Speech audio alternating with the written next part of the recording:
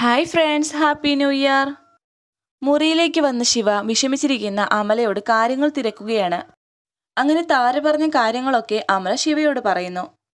അമല പറയുന്നു അവരെന്നെ എന്ത് വേണമെങ്കിലും പറഞ്ഞോട്ടെ ശിവ. അങ്ങനെ വിഷമിച്ചു നിന്നപ്പോഴാണ് അവിടേക്ക് ഡി കെ വരുന്നത്. ഡി കെ അമലയോട് പറയുന്നു സോറി അമല അവരുടെ ഭാഗത്തു നിന്ന് അങ്ങനെ ഒരു തെറ്റ് സംഭവിച്ചതിന് ഞാൻ മാപ്പ് പറയുന്നു. അമല പറയുന്നു അയ്യോ ഏട്ടൻ എന്നോട് ക്ഷമ ചോദിക്കുന്നോ? എന്താ ഏട്ടാ ഇത്? അതൊന്നും എനിക്കൊരു ബുദ്ധിമുട്ടല്ല. അവരുടെ മനസ്സിലെ പ്രയാസം കൊണ്ട് അവരങ്ങനെ പറഞ്ഞു അത്രേ ഉള്ളൂ അതിന് നമ്മളും യഥാർത്ഥത്തിൽ കാരണക്കാരല്ലേ?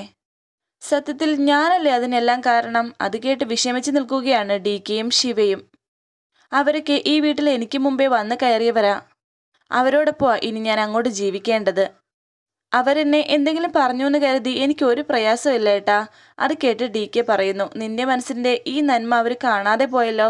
സാരമില്ല ഇനി അവരുടെ ഭാഗത്തു നിന്ന് ഒരു പ്രശ്നം ഉണ്ടാവാതെ ഞാൻ നോക്കിക്കോളാം. അമല പറയുന്നു ഏട്ടാ ഇത് അങ്ങനെ ഒരു പ്രശ്നമല്ല. അങ്ങനെ ഏട്ട കരുതിയും വേണ്ട. അവർക്ക് സഹിക്കാൻ പറ്റാത്ത ഒരു പ്രയാസം മനസ്സിലുള്ളത് തുറന്നു പറഞ്ഞു എന്നേ ഉള്ളൂ. ഏട്ടൻ എന്നെ ഓർത്ത് ഒട്ടും വിഷമിക്കേണ്ട. ശിവ പറയുന്നു ഏട്ടാ ഏട്ടൻ അവരെ ഒന്ന് പറഞ്ഞ് മനസ്സിലാക്ക്. അത് കേട്ട് ഡി കെ പറയുന്നു ഞാൻ പറഞ്ഞോളാം. ഞാൻ അമലയും കൊണ്ട് ഈ വീട്ടിൽ വന്ന് കയറുമ്പോൾ എങ്ങനെ ഇവരോടൊപ്പം അഡ്ജസ്റ്റ് ചെയ്യുമെന്ന് എനിക്കും ഒരു സംശയം ഉണ്ടായിരുന്നു. പക്ഷെ ഇപ്പോൾ എനിക്ക് ഒരു സംശയമില്ല ഈ വീട്ടിൽ വന്ന മരുമകളിൽ ഏറ്റവും മികച്ച ഒരാൾ ഈ അമല തന്നെയാണ്. ഈ ക്ഷമയും ശാന്തതയും നിനക്ക് നല്ലൊരു കുടുംബജീവിതം തരും.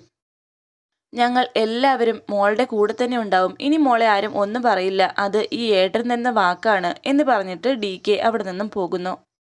അത് കേട്ട് സന്തോഷത്തോടെ നിൽക്കുകയാണ് ശിവയും.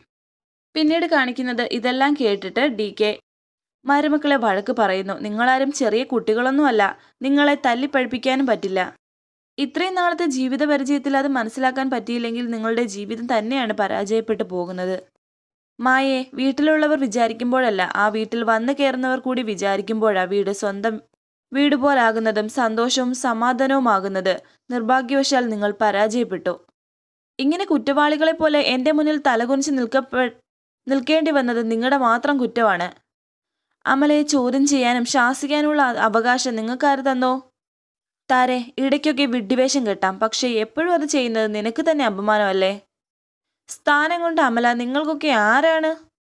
അമല നിങ്ങൾക്ക് ആരാണെന്ന് ഇങ്ങനെയൊക്കെ ദേഷ്യത്തിൽ ഡി കെ അവരോട് ചോദിച്ചപ്പോൾ താരയും ചിത്രയും മായയും തലകുനിച്ചതെല്ലാം കേട്ടുകൊണ്ട് വിഷമത്തോടെ നിൽക്കുകയാണ്. താര പറയുന്നു ചെറിയ അമ്മായിയമ്മ ഡി കെ പറയുന്നു ആണല്ലോ? ജ്യോതിയുടെ അതേ സ്ഥാനം തന്നെയാണ് ഈ വീട്ടിൽ അമലയ്ക്കുള്ളത്. മായ പറയുന്നു ഡി കെ താരയ്ക്കൊരു അബദ്ധം പറ്റിയതാ. ചിത്ര പറയുന്നു ഞങ്ങൾ താരേച്ചിയെ തടയാൻ നോക്കിയതാ. അപ്പോഴേക്കും താരേച്ചി എന്തൊക്കെയോ പറഞ്ഞു. Sorry D K. D K പറയുന്നു നാവിനെ നിയന്ത്രിക്കാൻ ശീലിച്ചില്ലെങ്കിൽ വാക്കുകൊണ്ട് മരിക്കുമെന്നൊരു പഴഞ്ചൊല്ലുണ്ട്. അത് ഏറ്റവും കൂടുതൽ ഓർക്കേണ്ടത് താരയാണ്. മായ പറയുന്നു സോറി ഡി കെ. താരയെ ഞങ്ങൾ പറഞ്ഞ് മനസ്സിലാക്കിക്കോളാം. താര പറയുന്നു ആ എം ബി വിഘ്നേശ്വറിന്റെ ആൾക്കാർ താരേച്ചയും ബാലുവിനെയും തട്ടിക്കൊണ്ടുപോയി എന്തെങ്കിലും ചെയ്തിരുന്നെങ്കിലോ? അമല കാരണമല്ലേ അതൊക്കെ സംഭവിച്ചത്? അത് കേട്ട് ദേഷ്യത്തിൽ ഷടപ്പ് ആര് പറഞ്ഞു അമല കാരണമാണെന്ന്? ഞാനാണ് അമലയെ കൂട്ടിക്കൊണ്ടുവന്നത്. എന്റെ അനിയന്റെ ഭാര്യയാണ് അവൾ. ഇനി മേലിൽ ഇതുപോലൊരു സംഭവം ഉണ്ടായാൽ അതിന് ഉത്തരവാദികൾ ആരാണെങ്കിലും പിന്നെ അവർ ഈ വീട്ടിൽ ഉണ്ടാകില്ല. മനസ്സിലായല്ലോ? എന്ന് ദേഷ്യത്തിൽ പറഞ്ഞിട്ട് ഡി കെ അവിടെ നിന്നും പോകുന്നു. വിഷമത്തോടെ നിൽക്കുകയാണ് താര. ദേഷ്യത്തിൽ ചിത്ര പറയുന്നു താരേച്ച് കാരണം ഞങ്ങൾക്കൂടി ചീത്ത കിട്ടി. പിന്നീട് കാണിക്കുന്നത് ഒരു ഷോപ്പിൽ പോയി തിരികെ വരികയാണ് പ്രിയ സ്കൂട്ടറിൽ കയറിയപ്പോഴാണ് ആ സമയത്ത് അവിടേക്ക് അവിനാശ് വരുന്നത്. അവിനാശ് പറയുന്നു പ്രിയ എനിക്ക് നിന്നോട് സംസാരിക്കാനുണ്ട്. പ്രിയ പറയുന്നു എനിക്കൊന്നും കേൾക്കാനില്ല. നമ്മൾ തമ്മിൽ ഒരു ബന്ധവുമില്ല. വണ്ടി എടുത്ത് മാറ്റ്. അവിനാശ് പറയുന്നു അങ്ങനെയൊക്കെ അങ്ങ് പറഞ്ഞു പോകാൻ പറ്റുമോ നീ എന്റെ ഭാര്യയല്ലേ? നമ്മുടെ ശാന്തി മുഹൂർത്തം കഴിഞ്ഞതല്ലേ? എടി നിന്നെ എനിക്ക് ഉപേക്ഷിക്കാൻ പറ്റുമോ അത് കേട്ടിട്ട് പ്രിയ ദേഷ്യത്തിൽ പറയുന്നു ദേ ഇനി ഒരു അക്ഷരം മിണ്ടരുത്. ഇനി എന്തെങ്കിലും പറഞ്ഞാൽ ഞാൻ ഇവിടെ കിടന്ന് കൂവി ബഹളം ഉണ്ടാക്കും. വണ്ടി എടുത്ത് മാറ്റണം എനിക്ക് പോകണം അവിനാശ് പറയുന്നു ആ അങ്ങനെയൊക്കെ അങ്ങ് പോവല്ലടി എനിക്ക് പറയണമെന്ന് പ്രിയ നിന്നെ ഞാൻ ഒന്നും ചെയ്യാൻ പോകുന്നില്ല. എനിക്ക് നിന്നോടൊന്ന് സംസാരിച്ചാൽ മതി. നീ എന്തിനാടി എന്നോട് ഇങ്ങനെ പിണങ്ങിയിരിക്കുന്നത്? വാ നമുക്ക് സംസാരിക്കാം എന്ന് പറഞ്ഞിട്ട് പ്രിയയുടെ കയ്യിൽ പിടിക്കാൻ ഒരുങ്ങുന്നു. ദേഷ്യത്തിൽ പ്രിയ പിന്നെയും പറയുന്നു ഞാൻ നിങ്ങളോട് എന്ത് സംസാരിക്കാനാ? എനിക്കൊന്നും പറയാനില്ല. അവിനാശ് പറയുന്നു ആ അങ്ങനെയൊക്കെ പറഞ്ഞാൽ എങ്ങനെയാ മാറിക്കേ വഴിന്ന് മാറ് എന്നൊക്കെ പറഞ്ഞപ്പോൾ പെട്ടെന്ന് അവിനാശ് പ്രിയയുടെ കീ ഊരി മാറ്റുകയാണ് വണ്ടിയുടെ. അങ്ങനെ അവിടെ ബഹളം ഉണ്ടാക്കിക്കൊണ്ടിരുന്നപ്പോഴാണ് തൊട്ടരികിലായി ഷോപ്പിംഗ് കഴിഞ്ഞിറങ്ങിയ ഭാഗ്യലക്ഷ്മിയും ജയപ്രകാശും ഇത് കാണുന്നത് അവർ കാറിൽ കയറാൻ ഒരുങ്ങുകയായിരുന്നു. അത് കണ്ടോണ്ട് ജയപ്രകാശൻ ചേച്ചിയോട് പറയുന്നു ചേച്ചി പ്രിയല്ലേ അത്? ആണല്ലോ ആ കുട്ടിയാണല്ലോ എന്ന് ഭാഗ്യലക്ഷ്മി പറയുന്നു എന്തോ ഒരു പ്രശ്നമുണ്ടല്ലോ. എന്ന് ജയപ്രകാശൻ പറഞ്ഞിട്ട് അവർ രണ്ടുപേരും പ്രിയയുടെ അരികിലേക്ക് വരികയാണ്. ആ സമയം അവിനാശിന്റെ കയ്യിൽ നിന്നും എങ്ങനെങ്കിലും കീ വാങ്ങാൻ ഒരുങ്ങുകയായിരുന്നു പ്രിയ. അവിനാശ് പറയുന്നു എടി നിനക്ക് നീയില്ല എനിക്ക് നീയില്ലാതെ ജീവിക്കാൻ കഴിയില്ല. അപ്പോൾ ജയപ്രകാശ് അരികിലേക്ക് വന്നിട്ട് ചിരിച്ചുകൊണ്ട് ചോദിക്കുന്നു ഹലോ പ്രിയ എന്താ ഇവിടെ? ഏതാ ഈ ഗഡി? എന്തുട്ടാ നിങ്ങൾ ഈ കാണിക്കുന്നത്? ഒരു പെൺകുട്ടിയോടാണോ ചേട്ടന്റെ ഗുണ്ടായുസം? എന്നൊക്കെ അവിനാശിനോട് കൈപിടിച്ച് തിരിച്ചിട്ട് ചോദിക്കുകയാണ് ജയപ്രകാശ്. അവിനാശ് പറയുന്നു ഞാൻ ആരാണെന്ന് അറിയാമോടാ തനിക്ക്? അത് കേട്ട് ജയപ്രകാശ് പറയുന്നു താൻ ആരാണെന്ന്? ഞാനെന്തിനാ അറിയുന്നത്? ആരായാലും എനിക്കൊരു ചുക്കുമില്ല. ഞാനേ ജയപ്രകാശനാണ് ഈ കുട്ടിയുടെ ഒരു ഫ്രണ്ടാണ്. അതെ പെൺകുട്ടികളെ വഴിതടയുന്നത് ഒരു ക്രിമിനൽ ഒപ്പൻസ് ആണ് ഈ കുട്ടി ഒരു കേസ് കൊടുത്താലേ പിന്നെ കോടതി കയറി ഇറങ്ങേണ്ടി വരും. അത് കേട്ട് ജയപ്രകാശിന്റെ കോളറിനെ പിടിച്ചിട്ട് അവിനാശ് പറയുന്നു പോലീസുകാരനെ നിയമം പഠിപ്പിക്കുന്നോടാ. ഇതൊക്കെ കേട്ട് ടെൻഷനോടെ പിറകിൽ നിൽക്കുകയാണ് ഭാഗ്യലക്ഷ്മിയും പ്രിയയും. ജയപ്രകാശ് അവിനാശിനോട് പറയുന്നു എന്തൊക്കെ എന്തൊക്കെയാണ് സാറേ കാണിക്കുന്നത്? ഒരു നാണമില്ലാതെ റോഡിൽ കിടന്ന് ബഹളം ഉണ്ടാക്കുന്നതിന് ഒരു നാണമില്ലേ? സാർ ഇങ്ങോട്ട് വന്നേ എന്ന് പറഞ്ഞ അവിനാശിനെ മാറി നിന്ന് സംസാരിക്കാൻ ഒരുങ്ങുകയാണ് ജയപ്രകാശ്. എന്താണ് നിനക്ക് പറയാനുള്ളത്? എന്ന് ദേഷ്യത്തിൽ അവിനാശ് ചോദിക്കുന്നു. ആ സമയം ജയപ്രകാശ് പറയുകയാണ് ഞാനേ അഡ്വക്കേറ്റ് ജയപ്രകാശാണ്. രാജീവന്റെ കേസ് വാദിക്കുന്നതേ ഞാനാണ്. നിന്നെ ഞാൻ അകത്താക്കും. അതൊക്കെ കേട്ട് ടെൻഷനായി ഭാഗ്യലക്ഷ്മി ടെൻഷനോടെ പ്രിയയോട് ചോദിക്കുന്നു ആരാ മോളെ അത്? അത് കേട്ട് ദേഷ്യത്തിൽ പ്രിയ പറയുന്നു അത് എന്റെ പിന്നാലെ നടക്കുന്ന ഒരു ശല്യമാണ്. ശരിക്കും ദുരന്തം.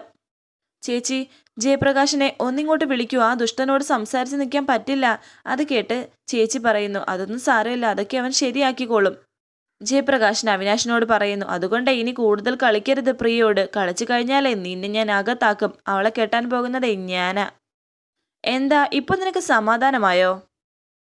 പോവാം. വന്നേ എന്ന് പറഞ്ഞ് അവിനാശിനെ പിന്നെയും അവരുടെ അടുത്തേക്ക് കൊണ്ടുവരുന്നു. ആ സമയം അവിനാശിന്റെ മുഖത്ത് നല്ല ടെൻഷനുണ്ട് അവിനാശ് പ്രിയയോട് പറയുന്നു നിനക്ക് പുതിയ ബന്ധുക്കളെയൊക്കെ കിട്ടിയല്ലോ അല്ലേ? നിന്നെ ഞാൻ കാണിച്ചു തരാം. എന്ന് പറഞ്ഞ് വണ്ടിയെടുത്ത് പോവാൻ ഒരുങ്ങുകയാണ് അവിനാശ്. ജയപ്രകാശ് ചിരിച്ചുകൊണ്ട് നിൽക്കുന്നു. പ്രിയയെ ഒന്ന് നോക്കിയിട്ട് പിന്നെ അവിനാശ് ദേഷ്യത്തിൽ അവിടെ നിന്നും പോകുന്നു. പ്രിയ ആണെങ്കിൽ ടെൻഷനോടെ നിൽക്കുന്നു. അല്ല നിങ്ങൾ എവിടെ പോയിട്ട് വന്ന് വരുവാണ് എന്ന് പ്രിയ ചോദിച്ചപ്പോൾ ജയപ്രകാശൻ പറയുന്നു ഞങ്ങൾ കൊട്ടാരക്കര ഗണപതി ക്ഷേത്രത്തിലേക്ക് പോകുന്ന വഴിയാ. അപ്പോ ഈ വഴി പോയാൽ എളുപ്പമാണെന്ന് ഏതോ ഒരു ഗടി പറഞ്ഞേ. എനിക്ക് ഈ കൊട്ടാരക്കര ഗണപതിയുടെ ഉണ്ണിയപ്പം വളരെ ഇഷ്ടമാണേ. ഈ ഉണ്ണിയപ്പം ചുട്ട് പഞ്ചസാരയൊക്കെ ഇട്ട് ഗണപതിക്ക് മുന്നിൽ പൂജിച്ച് കിട്ടുന്നതല്ലേ? അസാധ്യ രുചിയാണ്. ഭയങ്കര ഇഷ്ടമാണ് എനിക്കത്. അങ്ങനെ പോകുന്ന വഴിക്ക് വാങ്ങിക്കാന്ന് കരുതി. അതുകൊണ്ടാ ഈ വഴിക്ക് വരുന്നത്. ഇവിടെ വന്നപ്പോൾ ചേച്ചിക്ക് എന്തോ വാങ്ങിക്കണമെന്ന് പറഞ്ഞു. അങ്ങനെ കടയിൽ കയറിയിട്ട് ഇറങ്ങുമ്പോഴാ കുട്ടിയെ കണ്ടത്. അല്ല ഇവിടെ അടുത്താണോ കുട്ടിയുടെ വീട്? പ്രിയ ചിരിച്ചുകൊണ്ട് പറയുന്നു. അതെ ഇവിടെ അടുത്താണ്. എന്താ വരുന്നോ? അത് കേട്ട് തൊഴുതുകൊണ്ട് ജയപ്രകാശൻ പറയുന്നു അയ്യോ ഞാനില്ലേ എന്നെ വിട്ടേക്ക്? ചേച്ചി പറയുന്നു പോട്ടെ മോളെ ഞങ്ങൾക്ക് വേറൊരാളെ കാണാനുണ്ട്. അതും കൂടി കഴിഞ്ഞിട്ട് വേണം കൊട്ടാരക്കരയ്ക്ക് പോകാൻ. അങ്ങനെ ജയപ്രകാശിനെ വിളിച്ചുകൊണ്ട് പോവുകയാണ് ഭാഗ്യലക്ഷ്മി. പോകാനൊരുങ്ങിയപ്പോൾ ജയപ്രകാശൻ പറയുന്നു അപ്പോ കാണാൻ കേട്ടോ? വേണമെന്നില്ല എന്ന് ഹെൽമെറ്റൊക്കെ വെച്ചുകൊണ്ട് പ്രിയ പറയുന്നു അങ്ങനെ പറയരുത് നമുക്ക് കാണാം എന്ന് പറഞ്ഞിട്ട് ചിരിച്ചുകൊണ്ട് ജയപ്രകാശ് അവിടെ നിന്ന് പിന്നീട് കാണിക്കുന്നത് അമരാവതിയിലേക്ക് ഒരാൾ കയറി വരുന്നുണ്ട്. പോവുകയാണ്. ഹോളിലിരിക്കുന്ന സോഫയിൽ കയറി ഇരിക്കുകയാണ് ഒരു പരിചയമില്ലാത്തതുപോലെ ജ്യോതി അകത്തു നിന്നും പുറത്തേക്ക് ഇറങ്ങി വരികയാണ്. ഹലോ ആരാണ്? എന്ന് അയാളോട് ചോദിക്കുന്നു. അയ്യോ എന്നെ മനസ്സിലായില്ലേ? ഞാൻ ചാണ്ടി. ഇട്ടിമല പൊട്ടൻ പറമ്പിൽ ചാണ്ടി. അങ്ങ് വാകത്താനത്താ എന്റെ വീട്. സൂപ്പർ സ്റ്റാർ ചാണ്ടി എന്ന് നാട്ടുകാർ വിളിക്കും. അത് കേട്ട് ജ്യോതി പറയുന്നു അതിനിപ്പോ ഞാനെന്താ വേണ്ടത്? തനിക്കിപ്പോ എന്താ വേണ്ടത്? ചാണ്ടി പറയുന്നു അല്ല ഇതല്ലേ നമ്മുടെ സിനിമാ നടിയുടെ പേര്? മറ്റേ ആ ഹിറ്റ്ലർ എന്ന പേരുള്ള അത് കേട്ട് ദേഷ്യത്തിൽ ജ്യോതി അയാളോട് കൈ ചൂണ്ടിക്കൊണ്ട് പറയുന്നു ആരടോ ഹിറ്റ്ലർ? ഇനി ആ പേര് പേര് ഈ വീട്ടിൽ പറഞ്ഞാലുണ്ടല്ലോ. അത് കേട്ട് ചാണ്ടി പറയുന്നു അയ്യോ എന്റെ പൊന്നുമോളെ ഞാൻ മനഃപൂർവം പറഞ്ഞതല്ല. ഞാൻ വഴി ചോദിച്ചപ്പോൾ ആളുകൾ പറഞ്ഞു തന്നതാ. ഇതാണ് ഹിറ്റ്ലറിന്റെ വീടെന്ന്. ആ അങ്ങനെ ചോദിച്ചാൽ മതി. പെട്ടെന്ന് ഇങ്ങ് വരാന്ന്. അത് കേട്ട് ജോലി പറയുന്നു നിങ്ങൾ ഇപ്പോൾ എന്തിനാ വന്നത്? അമലയെ കാണാനാണോ? ആണെങ്കിൽ അത് നടക്കത്തില്ല. അവൾക്ക് ആരെയും കാണാൻ താല്പര്യമില്ല. ചാണ്ടി പറയുന്നു അയ്യോ മോളെ അങ്ങനെയൊന്നും പറയില്ല. എന്റെ അമ്പത് ലക്ഷം വഴി കിടക്കുക അത് കേട്ട് ജ്യോതി പറയുന്നു അയ്യോ ആണോ?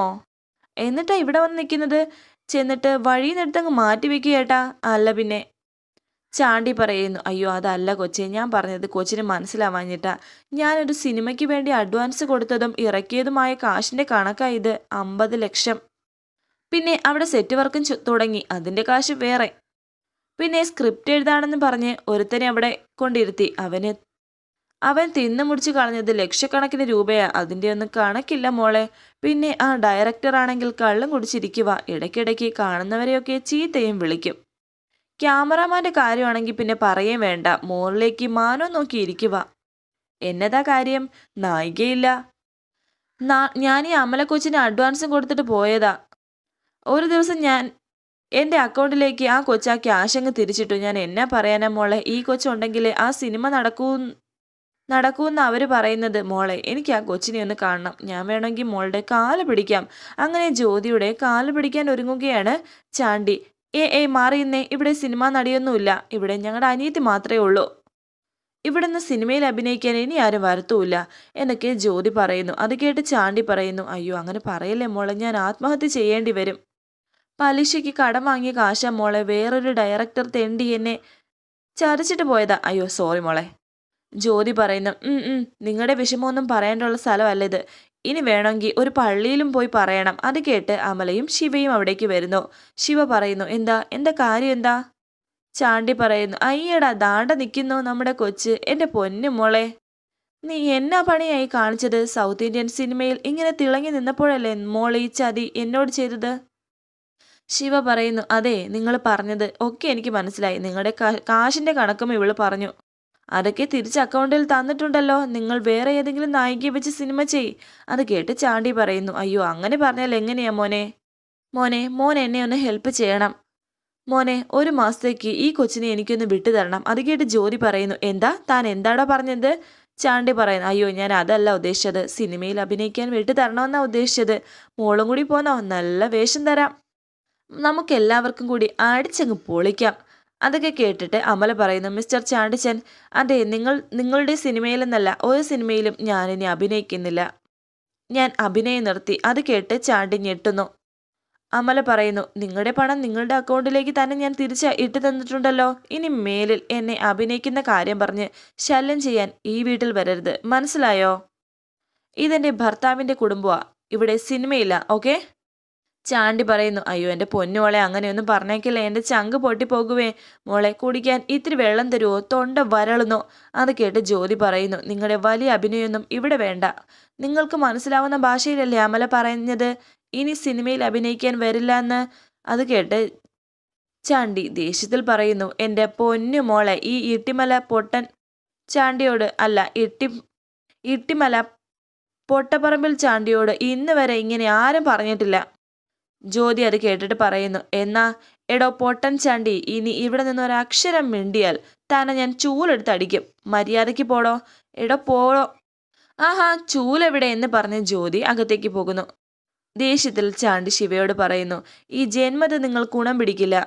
ഞങ്ങളുടെയൊക്കെ ചോറിൽ മണ്ണ് വാരിയിട്ടിടാ നീ ഇവളെയും കൊണ്ട് പോന്നത്. നിന്റെ ജീവിതം പണ്ടാരമടങ്ങി തുലയുട എന്നൊക്കെ പറയുന്നു. ആ സമയം ജ്യോതി ചൂലുമായിട്ട് വരുന്നു. ഇറങ്ങടോ താൻ ഇതുവരെ പോയില്ലേ? ഇറങ്ങടോ ഇറങ്ങടോ എന്ന് പറഞ്ഞ് ജ്യോതി ചൂലുമായിട്ട് നിൽക്കുന്നു നിന്നെ ഞാൻ എടുത്തോളാടാ എന്ന് പറഞ്ഞിട്ട് ചാണ്ടി അവിടെ നിന്ന് പോകുന്നു. ജ്യോതി പറയുന്നു അല്ല പിന്നെ ഒരു പോട്ടൻ ചാണ്ടി വന്നേക്കുന്നു. ഇതുപോലുള്ളവരാ സിനിമയെ നശിപ്പിക്കുന്നത്. അത് കേട്ട് ജ്യോതി അകത്തേക്ക് പോകുന്നു. പിന്നീട് കാണിക്കുന്നത് റെസ്റ്റോറന്റിൽ ഡി കെ കാണാൻ എത്തിയിരിക്കുകയാണ് പ്രിയ. ആ ജയപ്രകാശിനും അവിനാശുമായുള്ള സംഭവം ഒക്കെ പ്രിയ ഡി കെയോട് പറയുന്നു. ഡി കെ പറയുന്നു ആ സമയത്ത് ജയപ്രകാശ് എന്ന പേരുള്ള ആളല്ലേ അവിടെ ഉണ്ടായിരുന്നത്? അയാൾ എവിടെ നിന്ന് വന്നു? പ്രിയ പറയുന്നു അത് അറിയില്ലേട്ടാ മാനത്തുനിന്ന് പൊട്ടി വീണതുപോലെ അയാളും ചേച്ചിയും അവിടെ വന്നത്. അതുകൊണ്ട് ഞാൻ രക്ഷപ്പെട്ടു. അവർ തമ്മിൽ ഉന്തും തള്ളുമൊക്കെ ആയി. അതുകൊണ്ടാണ് ഞാൻ ഈ കാര്യം ഏട്ടനോട് പറയാമെന്ന് വിചാരിച്ചത്. ഡി കെ പറയുന്നു അത് നന്നായി. അഭിനാഷിന്റെ ഭാഗത്തു നിന്നും ഇതുപോലെയുള്ള പ്രകോപനങ്ങൾ പ്രതീക്ഷിക്കാം. പ്രിയ പറയുന്നു ഏട്ടാ ഞാനൊരു കാര്യം പറഞ്ഞ ഏട്ടൻ കേൾക്കണം. ഏട്ടന് തന്ന വാക്ക് ഞാൻ പാലിക്കാം. പക്ഷേ അതിലേക്ക് എന്റെ മനസ്സിനെ ഒന്ന് പരുവപ്പെടുത്തിയെടുക്കാൻ എനിക്ക് കുറച്ച് സമയം കൂടി വേണം. ഡി കെ പറയുന്നു അതിനെന്താ ഇഷ്ടം പോലെ സമയം തരാം. അതിനൊന്നും ഒരു കുഴപ്പമില്ല നിന്റെ മനസ്സ് പാകപ്പെട്ടിട്ട് മതി. നീ കല്യാണം കഴിക്കുന്നത്. പക്ഷെ അവർ നിന്നെ വന്നൊന്ന് കണ്ടിട്ട് പോകുന്നതിന് എന്താ കുഴപ്പം? അത് കേട്ട് പ്രിയ ടെൻഷനോടിരിക്കുന്നു. ഡി കെ പറയുന്നു ഒരു പെണ്ണ് കാണൽ ചടങ്ങ്. അത്രയല്ലേ ഉള്ളൂ? അല്ലെങ്കിൽ തന്നെ ഒരു പെണ്ണ് കണ്ടാൽ എത്ര നാൾ കഴിയും കല്യാണം കഴിക്കാൻ? ചിലപ്പോൾ ആറ് മാസം ചിലപ്പോൾ ഒരു വർഷം. നിനക്ക് ആവശ്യമുള്ള സമയം നീ എടുത്തോ? പക്ഷെ നമ്മുടെ തീരുമാനത്തിൽ നിന്ന് മാറരുത്. അവർ വന്ന് നിന്നെ ഒന്ന് കാണട്ടെ. നിനക്ക് താല്പര്യം തോന്നിയാൽ മാത്രം കല്യാണത്തിന് സമ്മതിച്ചാൽ മതി. പ്രിയ പറയുന്നു ഏട്ടാ എനിക്ക് പേടിയാ ഏട്ടാ. അവിനാശിനെ കുറിച്ച് ഓർക്കുമ്പം തന്നെ എന്തൊക്കെ സംഭവിക്കുമെന്ന് എനിക്കറിയില്ല. ഡി കെ പറയുന്നു അങ്ങനെ എപ്പോഴും പേടിച്ച് കഴിയാൻ പറ്റില്ലല്ലോ. രാജീവിന്റെ കേസിൽ അവന് പരമാവധി ശിക്ഷ തന്നെ കിട്ടും. പിന്നെ നാളെ ആ വക്കീൽ വരുന്നുണ്ട്. ആ സമയത്ത് നീയും കൂടി ഇവിടെ വേണം. എന്നാ ഞാൻ ഇറങ്ങട്ടെ ഏട്ടാ എന്ന് പറഞ്ഞിട്ട് പ്രിയ അവിടെ നിന്നും പോകാൻ ഒരുങ്ങുന്നു. നിന്നെ ഞാൻ കൊണ്ടുവിടാം എന്ന് ഡി കെ പറയുന്നു. വേണ്ട ഏട്ടാ ഞാൻ പൊക്കോളാം എന്ന് പ്രിയ പറയുന്നുണ്ട്. ആ പിന്നെ നാളെ അവർ വരും നിന്നെ കാണാൻ. അതിന് മാറ്റമൊന്നുമില്ല എന്ന് ഡി കെ പറയുന്നു. ഒന്നും മിണ്ടാതെ പോവുകയാണ് പ്രിയ അവിടെ നിന്നും. പിന്നീട് കാണിക്കുന്നത് കല്യാണം വേണ്ടാന്നുള്ള കാര്യങ്ങളൊക്കെ പ്രിയ ജ്യോതിയോട് പറയാൻ അമരാവതിയിലേക്ക് വന്നിരിക്കുകയാണ്. അങ്ങനെ ജ്യോതിയോട് കാര്യങ്ങളൊക്കെ പറയുന്നു. ഇത് കേട്ടിട്ട് ജ്യോതി പറയുന്നു നീ ഇതൊന്നും എന്നോട് പറഞ്ഞിട്ട് ഒരു കാര്യമില്ല പ്രിയേ. നിന്റെ കാര്യത്തിൽ ഏട്ടനൊരു തീരുമാനം എടുത്തിട്ടുണ്ട്. ഇനിയിപ്പോ ചേച്ചിയുടെ ഭർത്താവിന് അതിനുള്ള അവകാശം ഇല്ലാന്നാണ് നീ പറയുന്നതെങ്കിൽ ഞാനത് ഏട്ടനോട് പറയാം. അത് കേട്ടിട്ട് കരഞ്ഞുകൊണ്ട് പ്രിയ പറയുന്നു ചേച്ചി എന്തിനാ എഴുതാപ്പുറം വായിക്കുന്നത്? ഞാൻ എപ്പോഴെങ്കിലും അങ്ങനെ പറഞ്ഞിട്ടുണ്ടോ? പെരുമാറിയിട്ടുണ്ടോ? ജ്യോതി പറയുന്നു മനുഷ്യന്മാരുടെ കാര്യമല്ലേ പ്രിയമോളെ മനസ്സ് പറയുന്നത് മുമ്പും പിമ്പും ആലോചിക്കാതെ പെരുമാറുന്നതാ ആളുകളിൽ പലരും. അത് ശരിയാണോ തെറ്റാണോ എന്ന് രണ്ടാമതൊന്നും ചിന്തിക്കുകൂടിയില്ല ഇപ്പൊ തന്നെ ഞങ്ങളുടെ ശാന്തി മുഹൂർത്തം നടക്കാനാണെങ്കിൽ നീ എടുത്തു ചാടി അവിനാശിന്റെ മുമ്പിൽ പോയി പെട്ടത് കൊണ്ടല്ലേ ഈ മണ്ടത്തരം മൊത്തം സംഭവിക്കുന്നത്? പ്രിയ പറയുന്നു അതുകൊണ്ടല്ലേ ചേച്ചി ഏട്ടൻ അയാളെ വിട്ടത്? ജ്യോതി പറയുന്നു. മോളെ നിനക്ക് ഏട്ടനെ കുറിച്ച് അറിയാത്തോണ്ടാ നീ ഇങ്ങനെയൊക്കെ പറയുന്നത്. ഏട്ടനെ രക്ഷിക്കാൻ ഏട്ടൻ അറിയില്ലേ? അല്ലാതെ നീ പോയിട്ട് മോളെ ഏട്ടൻ പറയുന്നത് നീ ഒന്ന് സമ്മതിക്കേ. ദേ ആദ്യം അവർ നിന്നെ വന്നൊന്ന് കാണട്ടെ. ബാക്കി കാര്യങ്ങൾ പിന്നീടല്ലേ തീരുമാനിക്കുന്നത്? കരഞ്ഞുകൊണ്ട് പ്രിയ പറയുന്നു. വെറുത്തു പോയി ചേച്ചി. വിവാഹ ജീവിതം എന്ന ആഗ്രഹത്തിനെ പോലും ഞാൻ വെറുത്തുപോയി എന്റെ മനസ്സ് മരവിച്ചിരിക്കുവാണ്. ഇതൊക്കെ കേട്ട് വിഷമത്തോടെ ജ്യോതി പ്രിയയെ നോക്കുന്നു. വരാനിരിക്കുന്ന പുതുപുത്തൻ എപ്പിസോഡുമായി വീണ്ടും കാണാം. Thank for watching please subscribe